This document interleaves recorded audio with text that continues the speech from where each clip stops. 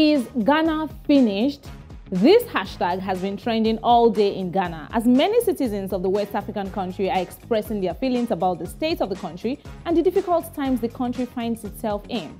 Ghanaians are worried that there is no redemption in sight. The youth especially are worried that they will not be able to enjoy the needed success with the current state of affairs in the country. Some of the top posts on Twitter with the hashtag is Ghana finished include this one from Alfred. Fuel prices are being increased nowadays without informing the general public. This is grand theft. Are they considering the needy in the country? Hashtag Ghana finished. Moving on, Faith says they just don't feel the economic hardship. That's why when we complain, they don't even care. Hashtag is Ghana finished. And then Daniel says, why is nobody talking about impeachment since this government has failed woefully? Hashtag is Ghana finished.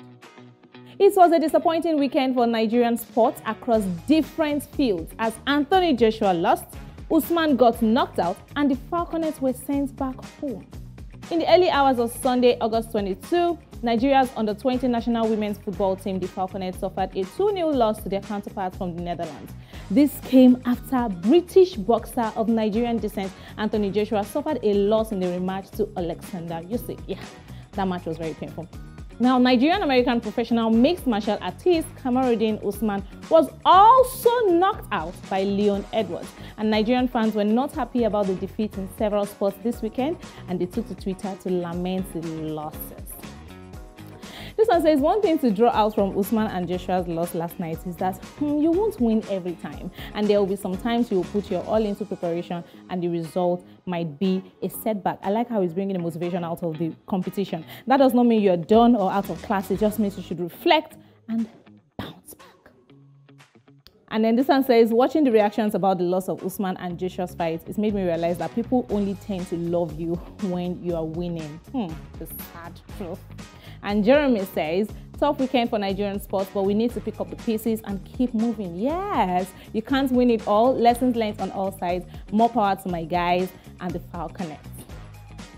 Still in Nigeria, the Zamfara state government offered a peace deal to notorious bandit kingpin Bello Turji to clear out unrepentant bandits in the state, and the former most wanted bandit kingpin has accepted the state government's offer.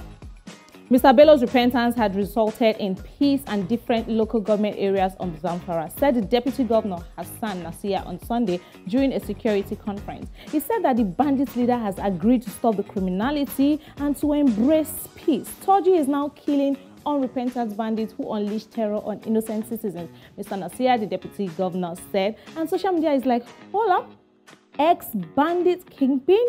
This math is not adding up. Well, here are some comments from social media. This one says, a country that pardons terrorists and kidnappers while their victims are still gnashing in pain for their loss. What's the best word to describe such a country? Answer the question.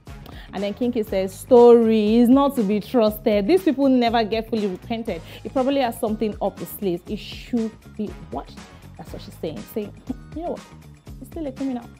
And then this one says, how about other criminals in jail serving their term? How about the lives he ended? Isn't that a police officer or what? What is even happening? This is not right. And that's all for tonight on NC Trends. My name is Sean Bankole and I'll see you next time.